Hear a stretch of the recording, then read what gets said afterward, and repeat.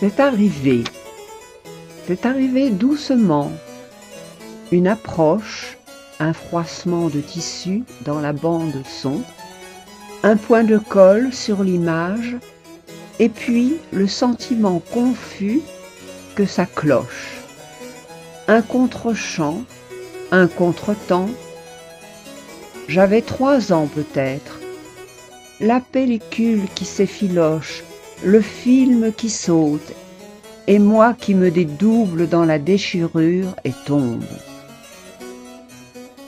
L'escalier sombre, la poussière grise sur les marches noires, les marches noires, la poussière grise.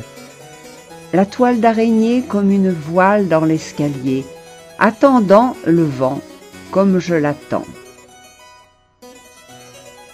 C'est arrivé doucement, un froissement de tissu, un frémissement d'idées, une ombre dans le miroir que j'ai suivi et le film a repris.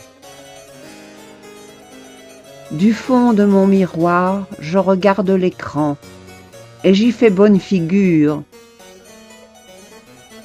Je leur donne l'illusion, je fais semblant de suivre la mesure.